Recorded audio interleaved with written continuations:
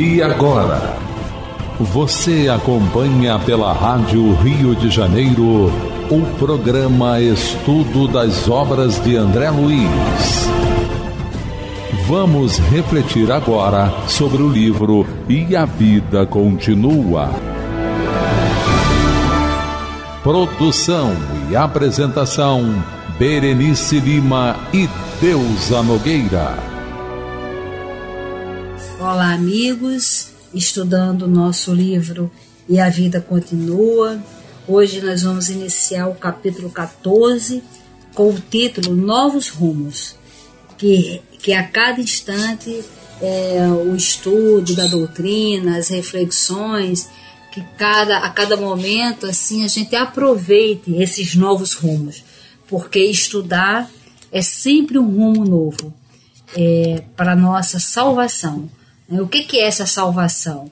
É sabermos sobre nós, sabermos o que, que somos, a nossa bagagem, para onde nós vamos, o que, que nós estamos é, projetando para nós mesmos, ou seja, assumirmos o controle da nossa vida, da nossa existência e da nossa caminhada e escolher o melhor rumo. Né?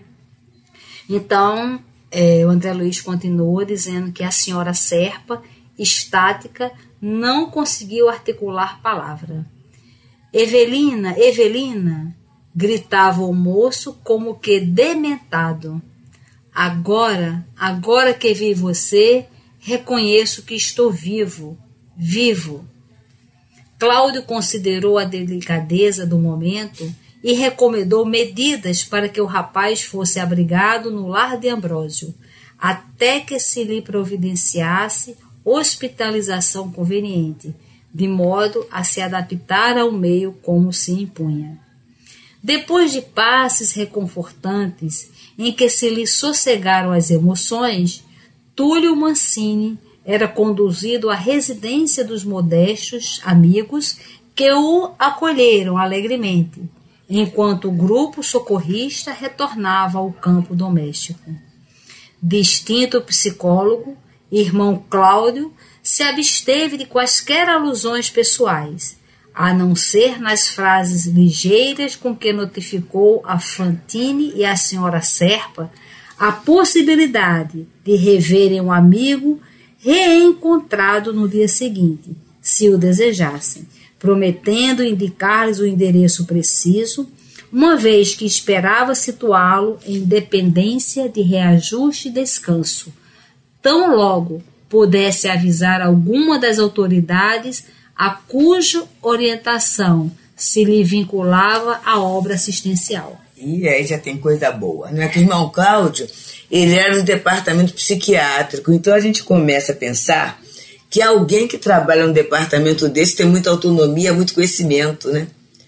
Mas mesmo assim ele toma cuidados assim é, é, delicados, é pouca coisa, né? É abrigar a criatura naquela instituição, tudo isso, e ele vai pedir orientação superior. Isso é uma coisa muito importante, porque às vezes, por nossos títulos acadêmicos ou até doutrinários, nós desprezamos orientação. É claro que sempre poderemos agir por nós mesmos, de acordo com o livre-arbítrio, mas quando se trata de interesses de terceiros, a gente não tem o direito né, de agir levianamente, porque a vida do outro não é a nossa só. É, e se a gente aprendesse a pedir conselhos, uhum. se a gente aprender, quando a gente aprender a ouvir esses conselhos dessas obras, olha, a gente vai deixar de errar muito e nós vamos andar muito a passos largos. É, às vezes tem muitas pessoas, né, espíritas, que fazem levante contra essas obras do, do Chico, Luiz, né, é. do André Luiz. É, mas, olha, é, não dá nem como para a gente fugir da grandiosidade desses conselhos. E não tem nenhum conselho aqui que vá de encontro. Seria pernicioso, né? Que vá de encontro à codificação, não é isso? Nada Exatamente. disso. Exatamente. Todos são de, de elevação. Né? E às vezes, é como. Lembra é. que ainda há pouco é, os espíritos, mediante os espíritos superiores, estavam ali gritando, falando impropérios, porque não consegue é, ver o alcance da ajuda. Né? Eu acho isso muito sério. Né? Muito sério. Então continua falando. Ernesto, a seu turno, estimaria ouvir a companheira com respeito ao suicida que eles foram objeto de tantos comentários, desde a conversação primeira. No entanto, calava-se, observando-a francamente aparvalhada e apoiando-se-lhe ao braço em fundo silêncio. Na cabeça dele, Fantine, pensamentos contraditórios se embaralhavam, sugerindo inquirições sem resposta. Não era Túlio um suicida? Perguntava-se. Lera bastante material informativo sobre suicidas além da morte, e acreditava estivessem eles comumente agoniados nas duras penalidades a que se impunham pelo desacato às leis de Deus. E a gente está vendo a característica de Ernesto, que ele não falava sou livre pensador, sou espiritualista, ele leu muito, mas talvez ele tenha refletido pouco, né?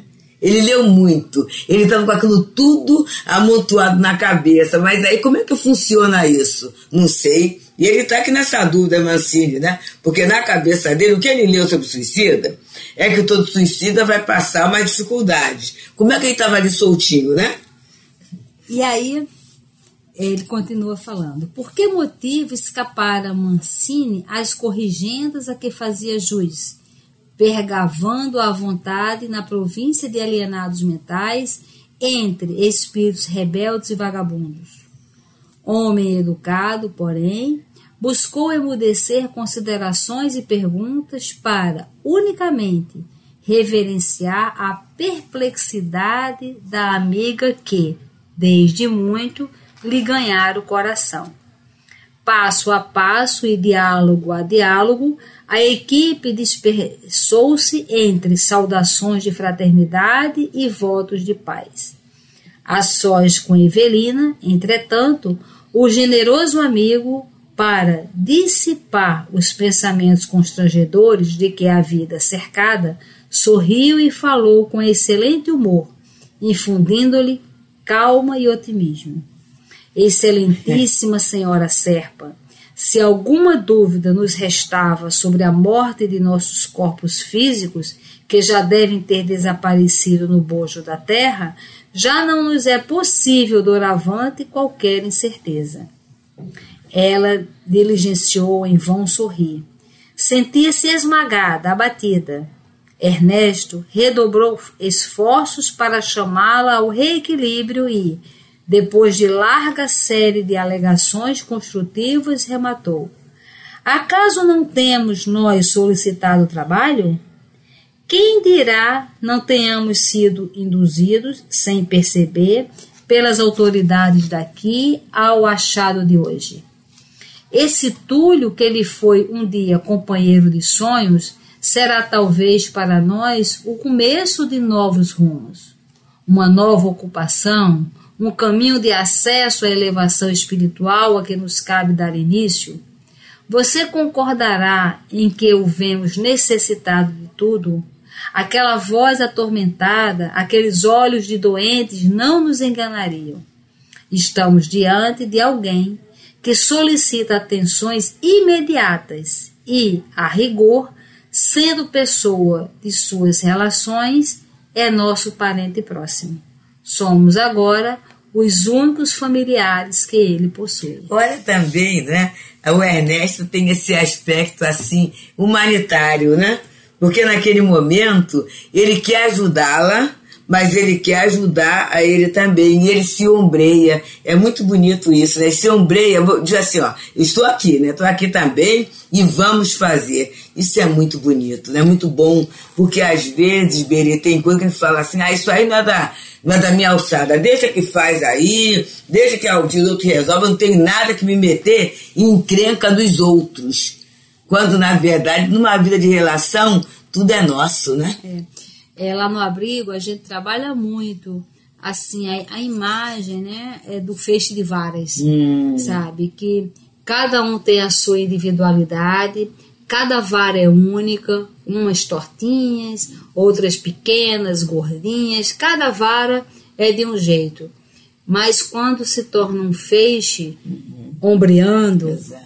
junto a um, um dos outros, é, a gente consegue passar por grandes problemas, né? Se- como Jesus fala, né? Uma vara se quebra com facilidade, duas, três, mas um feixe de varas já é mais difícil. Então, aqui é, é realmente se colocar no lugar do outro, né? É estarmos juntos, um fortalecendo. Exatamente. Então a gente vai aprendendo esse mecanismo, né? E ele continua: porque a amiga se referisse de leve à dor misturada de assombro que a descoberta lhe causara, Fantine voltou ao bom humor do princípio e gracejeou, de braços abertos. Que esperaria de melhor a senhora Serpa, a fim de trabalhar?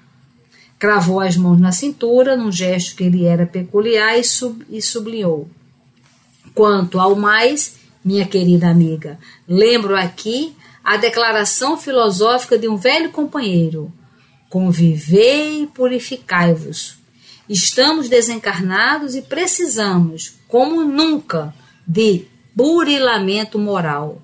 Se a presença de Túlio nos chama ao serviço que nos testará a capacidade de amor ao próximo, não hesitemos a abraçar as novas obrigações. Olha que palavra de força, né? Porque muitas vezes, gente, que a gente pode dar estímulo.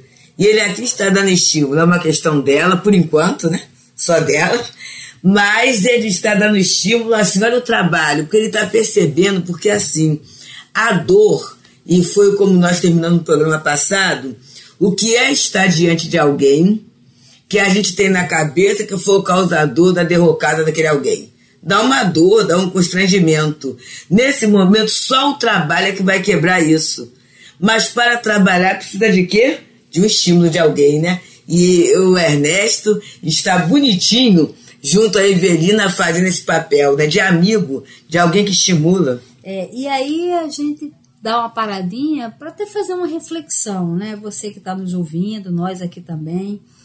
É você pensar, eu sou alguém que estimulo Ah, ao exato. bem, né? Eu estou estimulando as pessoas ao bem, eu chego junto, eu tenho uma visão de futuro espiritual, de progresso, eu consigo é, unir as pessoas para um bem maior. né? Nós precisamos saber qual é a nossa postura. Se nós estivéssemos nessa situação, nós teríamos essa postura? Né? Exato. Qual é a sua visão se você estivesse no lugar de um desses personagens? Ande por esses personagens. Como você reagiria? Né? Vá na sua intimidade, veja é, sinceramente como você agiria, porque isso é, é um processo de autoconhecimento. A gente tem que usar esses personagens pra, para servir de espelhos, Exato. se a gente conseguiria ou não agir dessa forma. Exatamente. Né? Então dias transcorreram até que os dois amigos conseguissem reavistar o rapaz, então suficientemente melhorado depois dos cuidados recebidos. Então a gente está sempre vendo que no mundo espiritual o cuidado É. sempre está disponível. Não falta amparo, né? É. Não falta amparo. Mas a gente precisa querer Exato, ser cuidado, né? querer ser amparado. Né? E querer ser amparado é diferente de querer ter a- as suas necessidades atendidas, né? ter, os, é, é, ter as suas vontades atendidas, né? que são coisas É, diferentes. que é o capricho, né? É, diferente da é, muita, é, muitas vezes, uma vez eu estava numa casa espírita e lá é, tinha o salão e tinha as salas. E a palestra passava nas salas através da TV. Então, é, muitas pessoas che- é, era um horário assim de sete horas da noite, muitas pessoas vinham do trabalho e tinha alguns palestrantes que realmente as pessoas queriam assistir aqueles palestrantes, né? Só que a casa espírita pedia para que as pessoas não marcassem lugar no salão. Porque às vezes chegava uma pessoa mais cedo e marcava dois, três, quatro lugares para os amigos que iam chegar em cima da hora. E às vezes tinham pessoas que não tinham ninguém para marcar os seus lugares, faziam um esforço danado para chegar e quando chegava as cadeiras estavam, né? é, estavam ocupadas. Então, a gente tem que ver que quando a gente faz isso, nós não estamos sendo amigos. Não, não. Né? Aí, mas aí uma pessoa quando chegou, que viu que a cadeira estava tava com, com a bolsa lá, olha, se desequilibrou, falou que nunca mais ia voltar na casa e tal, e foi embora. Então, para a gente ver, né? Como tudo é aprendizado. É tudo mesmo, tudo mesmo, né? É tudo, é, tudo é aprendizado e como a gente perde toda vez que a gente dá chilique. Exatamente. Eu nunca vi alguém, ou eu, às vezes que eu dei chilique. É que você saiu que eu saí ganhando, não. Só perde, só perde, exatamente isso. Eu nunca vi. Olha, todos os meus chiliques foram perdidos. Eu lembro que a vovó falava assim: o calado vence. Quando é. começava, quer ver você quando criança, né? É. Começa a reivindicar e coloca é. dedinho e tudo. E aí daqui a pouco aquele outro que está lá quieto é. acaba conseguindo que você é, não conseguiu com aquela malcriação, né? Exatamente. Então a gente tem que aprender a calar, uhum. a gente tem que aprender a pedir socorro, a gente tem que é, quando a gente decidir que a gente vai falar, a gente tem que saber o que, que a gente uhum. vai falar, para quem a gente vai e falar. Vai falar e, né? Porque toda vez que a gente pede socorro, o socorro chega. Aliás, eu estou lembrando aqui, é, esse final de semana, é, nós levamos as crianças para um sítio de um amigo meu, né? E levamos 28 crianças de entre é, 3 e 6 anos de idade. E a mãe social, a Basília, a Basília é bem gordinha, mas bem gordinha mesmo, né? E aí nós fomos é, na cachoeira e na volta tem um terreno lá que é um charco. Então quando você pisa, ele vai, ele afunda. Ele tem grão, mas ele vai afundando. E como ela é muito pesada, né? Ela é bem gordinha. Ela estava andando e ela começou a rir e quando a gente ri, a gente perde as forças, né? É Só que ela afundou o pé hum. dela e ela não conseguia tirar o pé com o chinelo. Hum. Aí ela começou a tentar, aí uma criança que estava segurando a mão dela, de três anos, hum. olhou, viu que ela estava numa situação, aí a criancinha começou assim. Socorro, socorro! Acudam a Basília! Gente, foi tão engraçado, porque isso foi justamente uma peça também que teve no abrigo, sabe? Ah, de uma pessoa estar tá numa situação e a outra impedir, porque ela, ela falou exatamente como um personagem, socorro, acudam, uhum. né? Na hora que ela viu.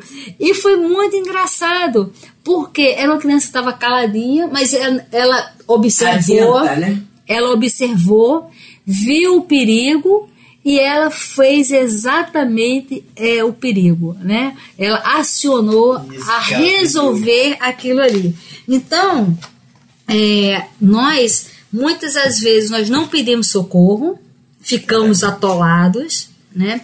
Ou então a gente pede socorro na hora errada, Isso. ou para a pessoa errada. Mas o importante é que a gente faça essa reflexão para que de hoje em diante a gente é, faça melhor. Fa exatamente, exatamente. Então ele continua dizendo que dias transcorreram até que os dois amigos conseguissem reavistar o rapaz, então suficientemente melhorado depois dos cuidados recebidos. Ernesto fitava o curioso no primeiro tete a tete, mas Evelina sentia-se tomada de surpresa e inquietação. Aquele era Túlio Mancini, mas um Túlio Mancini diferente. Os olhos penetrantes, quando pousados nela, denunciavam sentimentos estranhos. Nem a ela, nem a Fantine passavam despercebidos os propósitos enfermiços ali nascerem, ali mesmo, à frente dos dois, sem que o moço se soubesse intimamente visto e analisado. Sem qualquer impulso intencional, Ernesto e Evelina permutavam impressões, telepaticamente, reconhecendo com mais clareza que lhes era possível conversar pelo idioma do pensamento, de modo espontâneo, principalmente ali, diante de um companheiro que não lhes comungava o mesmo nível de ideias e emoções. Naquele momento, guardavam a convicção de ler na alma de Túlio como num livro aberto. Olha que interessante, né? Então, eles assim, novato de vida espiritual, vão experimentando determinadas questões. Primeiro, a percepção do ambiente espiritual do outro, né? E eles percebem o ambiente, a psicosfera do Túlio Mancini. Mas tem mais. A comunicação através do pensamento de espíritos que são afins. Muito interessante mesmo. E a outra questão também, que a gente não esconde nada de ninguém, né? É verdade. Olha os sentimentos ali inconfessável, mas ele já nos encarnou? Mas o sentimento não é do corpo, o sentimento é nosso, né? É verdade. E registrando as afirmações entusiásticas do rapaz, a imaginar-se vivo no mundo físico pelo fato de haver reencontrado a ex-noiva, os dois amigos não se animavam a desmanchar-lhe de pronto a ilusão. Então, é, será que nós, né, você que está nos ouvindo, se morrêssemos hoje, será que nós teríamos a consciência que estaríamos mortos, desencarnados? Será que daríamos prosseguimento à nossa vida ou nós ficaríamos ainda presos numa ilusão da matéria? Então nós precisamos pensar na nossa morte, porque veja o sofrimento dele, né? De, de nem saber o que está acontecendo. E quantos casos acontece isso, né? Quantos? Então, o que mais me aí o, o Mancini fala, o que mais me espanta é ter aguentado isso aqui, tanto tempo como o flagelo da dúvida. A senhora Serpa diligenciou modificar-lhe o curso dos raciocínios, no evidente intuito de prepará-lo para a verdade, e interpôs com bondade. De minha parte, o que mais lamentei foi a sua atitude, atirando contra você mesmo num ato de loucura. E ele agora, surpreso, fala: Eu? Eu? Pois você não soube? redarguiu o moço admirado. Nunca fiz isso. Tive, é verdade, a fraqueza de pensar um dia em matar-me pelo veneno por sua causa, mas depois reconheci que você não me desprezava e eu queria, a todo preço, reconquistar a sua afeição. Sucede, porém, que no anseio de colocar-me fora de campo, Caio foi procurar-me, solicitando-me ir com ele ao meu escritório para consultarmos juntos um livro de direito internacional. Porque alegasse urgência, não vacilei em prestar-lhe o favor. Era um feriado e as salas próximas faziam fechadas. E, a sós comigo, abandonou os assuntos da profissão e passou a acusar-me. Disse que a minha covardia, recorrendo ao veneno, abalara o amor que existia entre ele e você. Tentei justificar-me quando me detinha a considerar a pureza de meu afeto. Aquele brutamontes vomitou insultos que não consigo esquecer e, sacando um revólver, me alvejou no peito. Caí no piso e nada mais vi. Acordei, não sei quando, num quarto de hospital e desde então vivo enfermo e revoltado, buscando reaver a saúde para ensinar aquele Biltre quanto vale a minha vingança. É. E aí a gente está vendo horário de verdade, né? Tão sério que fala aqui, um raio que caísse ali sobre os três não teria arrasado o ânimo da senhora Serpa quanto aquela revelação terrível. Gente, olha só quanta coisa que se esconde pela reencarnação. Ela viveu com o marido, se sentia feliz, Daqui a pouco teve uma traição que ela ficou um pouco abalada. Após a traição, né, gente? Ela foi se reavendo, desencarnou tudo isso. Mas aqui vem uma verdade. E aí vamos pensar, não é? E vamos ver no próximo programa como é que ela vai reagir diante dessa grande revelação da sua vida. E vamos pensar também nas revelações que poderão chegar até nós no dia de hoje. Que fiquemos com Jesus. Muita paz. Muita paz. A Rádio Rio de Janeiro apresentou o programa Estudo das obras de André Luiz.